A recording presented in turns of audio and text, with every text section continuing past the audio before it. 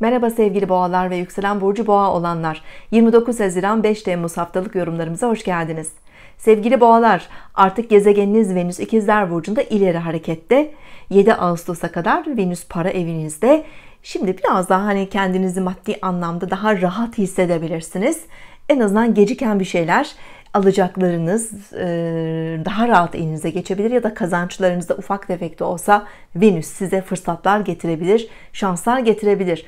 Bu hafta başından itibaren Mars Koç burcuna geçiyor ve 2020'nin en önemli gezegen transitlerinden birisi yıl sonuna kadar Mars Koç burcunda olacak. 12. evinizde bir Mars var. Güçlü bir Mars.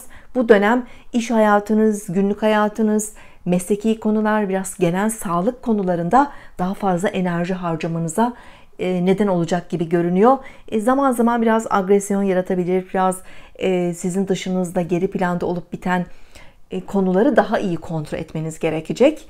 12. ev çünkü görünen bir alan değildir ve Mars gibi savaş gezegeninin görünmeyen bir alanda olması biraz gizli düşmanlıkların aktif hale gelebileceğini, kontrolünüz dışında bazı durumların dönem dönem hani etkili olabileceğini işaret ediyor. Bu uzun bir süreç. Yıl sonuna kadar Mars 12. evinizde olacak. Bu hafta başında pazartesi günü Ay terazi burcunda. Evet haftaya biraz iş yoğunluğumuz e, güçlü başlıyoruz. Yani biraz böyle meşguliyetlerimiz var. Pazartesi günü tamamlanması gereken işler var. Detay gerektiren konular var. Kendinizle de ilgilenebilirsiniz. Genel sağlığınız, bakımınız, güzelliğiniz, estetiğiniz ay teraziden geçerken Venüs'te düzelmişken kendinize bir zaman ayırabilirsiniz aslında sevgili boğalar. Salı günü ve çarşamba günü ise ay akrep burcunda ilişkilerinizde hareketlenmeler var.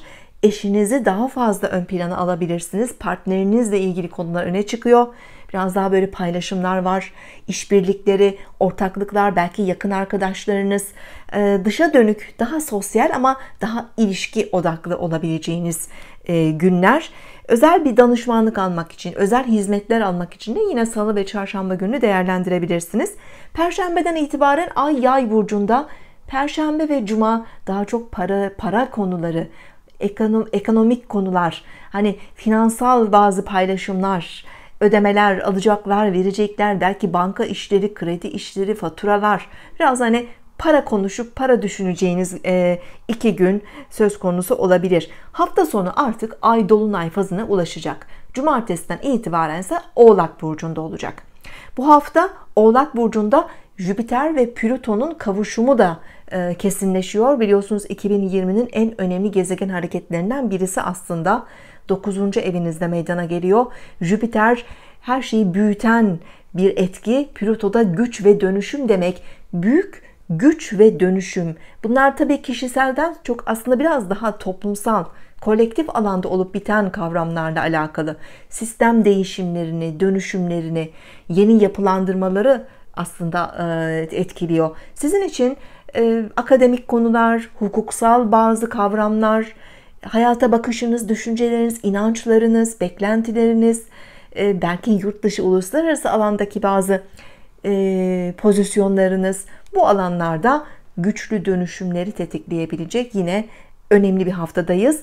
Bu etkilerle de beraber zaten pazar günü 5 Temmuz'da Oğlak Burcu'nun 13 derecesinde ay tutulması var. Bu ay tutulması son iki yıldır yengeç oğlak burçlarında yaşadığımız tutulmalarında artık sonuncusu olacak. Yani önümüzdeki 9 yıl yengeç ve oğlak burcunda tutulma yok.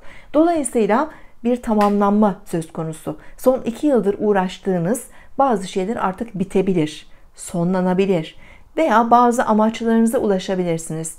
Bu hukuksal bir konu olabilir, eğitimle ilgili akademik alanda bir konu olabilir, ticari faaliyetler olabilir, yurt dışı bağlantılı projeleriniz, işleriniz, uğraşlarınız olabilir. Bu alanlarda bazı dönüşümlerin olması mümkün. Seyahatler, e, geziler e, veya hani bazı uluslararası ticari e, konu ve kavramlar bu tutulmanın da etkisiyle artık netleşebilir. Önümüzdeki süreci birkaç yılı şekillendirecek bazı sonuçları karşınıza çıkarabilir. Sağlıklı ve mutlu bir hafta dilerim. Hoşçakalın.